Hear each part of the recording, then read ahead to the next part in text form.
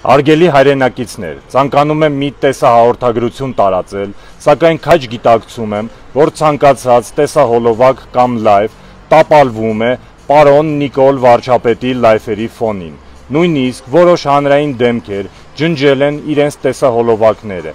ինչը անընդունելի եմ համարում։ Ըստ իս կա այս ամենում թուրըմբռնում։ Այսպիսով, Սեյչիզը հստակ արձանագրում է, որ իրավիճակի փոփոխություն կա։ Հայաստանի Հանրապետության on-line տարածքում իրողությունները փոխվել է եւ վիդեոլայֆերը անցել են Նիկոլ Փաշինյանի ձեռքը։ Ոստի ես որպես Հայաստանի Հանրապետության անկախ եւ հպարտ քաղաքացի պահանջում եմ վերադարձնել յետ on-line տիրույթը։ Հակառակ դեպքում մենք կկատարենք վարդերի հեղափոխություն, կանենք մեր քայլը եւ սանհանգույցներում կտեղադրենք տեսախցիկներ։